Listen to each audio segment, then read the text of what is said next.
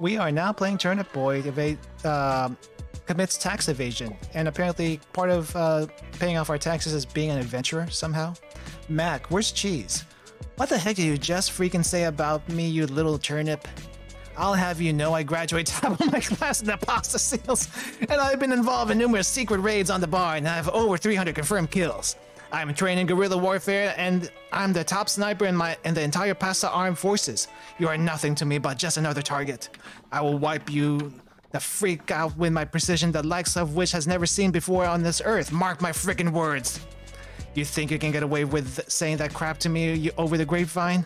Think again, Turnip. As we speak, I'm contracting my secret network spies across the farmland, and your leaves are being traced right now, so you better prepare for the storm, maggot. The storm that wipes out the pathetic little thing you call life. You're freaking dead, kid. I can be anywhere, anytime, and I can kill you in over 700 ways. And that's just with my bare hands. Not only am I extensively trained in unarmed combat, but I have access to the entire arsenal of the Pasta Corps and I will use it to its full extent to wipe your miserable butt off the face of the continent, you little crap. If only you could have known that unholy retribution your little clever comment was about to bring upon you, maybe you would have held your freaking tongue. But you couldn't. You didn't. And now you're paying the price, you dang idiot.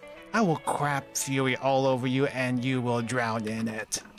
You freaking, you're freaking dead, kiddo. okay. okay.